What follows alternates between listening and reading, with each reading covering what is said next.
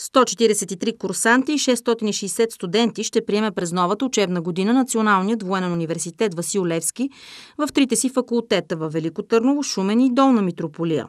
Това съобщи временно изпълняващия длъжността началник на Висшето училище полковник доцент Христо Атанасов. Квотата за редовно обучение в гражданските специалности е 340 студенти, а в задочната форма 320. Предварителната изпитна сесия за кандидатите приключва на 26 април с изпит по история на България, а редовната ще се проведе в края на юни.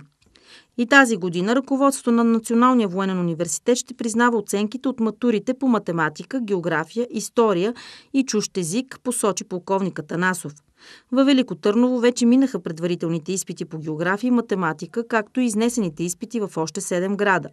До 3 дни след всеки изпит резултатите от него се качват на интернет страницата на Националния военен университет. Висшето военноморско училище Никола Йонкова Царова Варна е обявило 530 места за прием на студенти и курсанти. Вече са се записали 270 души.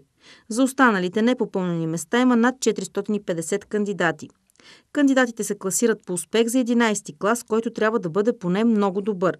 За специалността информационни технологии на водния транспорт минимумът за кандидатстване е отличен 5,50.